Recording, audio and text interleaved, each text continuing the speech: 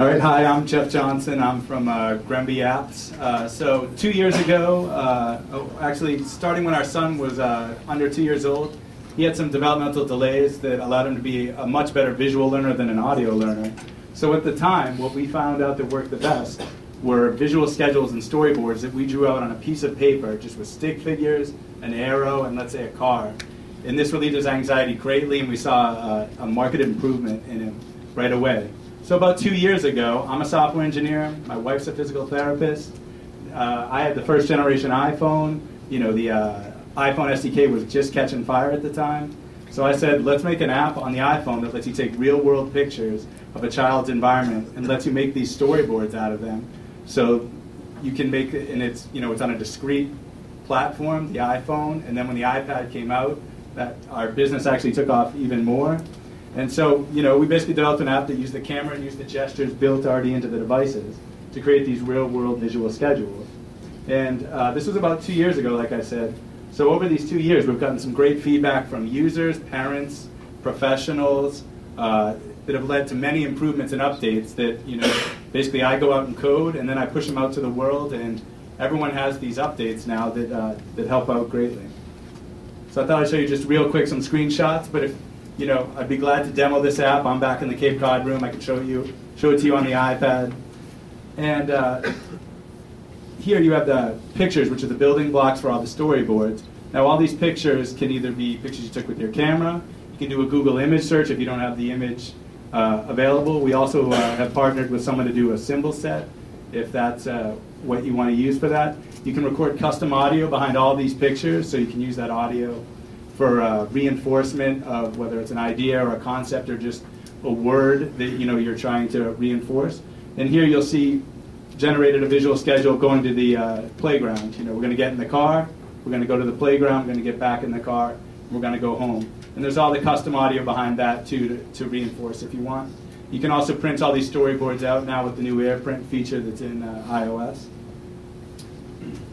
We have another type of storyboard where we just show you one task at a time. So if you want to get them to transition from task to task, you're going to use a swiping uh, gesture to move to the next screen. You can add check marks to show that a task is completed and then move on to the next step.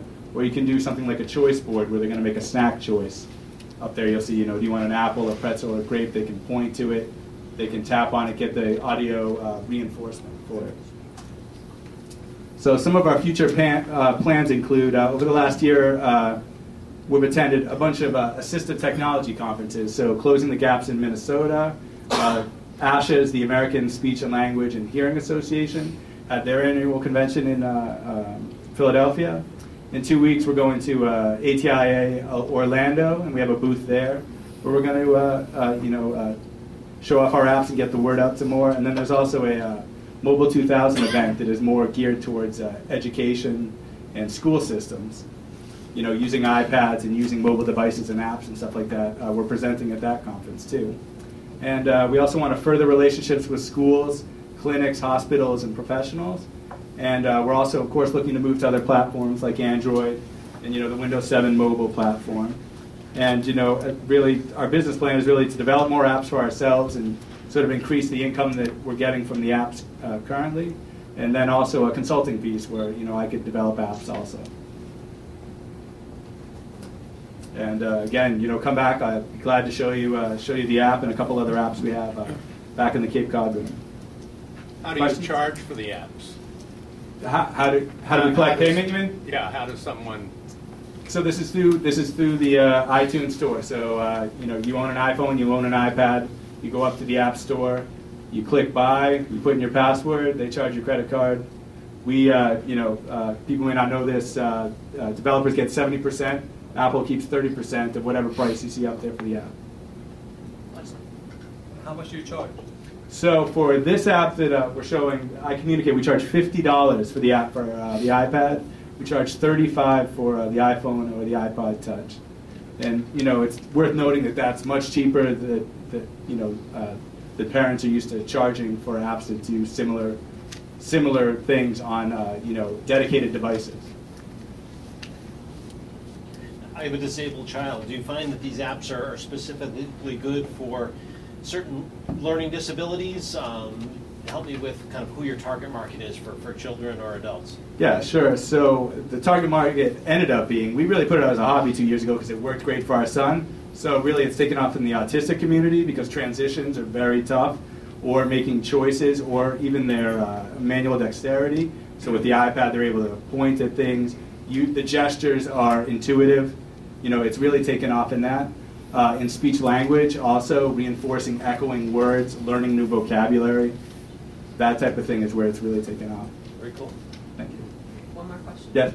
Can it integrate with video so that if someone only knows sign? So you've been so good segue. We have another application that allows you to uh, do video modeling. So you can record videos on the fly or load your own own videos, and you swipe through these videos to show expected behaviors inside of it. So this app does not do video; it just does pictures and audio. But we have another app uh, that costs ten dollars. It's called My Pictures Talk that I I can show you. You can record uh, uh, record video, and you you swipe through to the next step if you want. And you create stories out of that to reinforce behavior.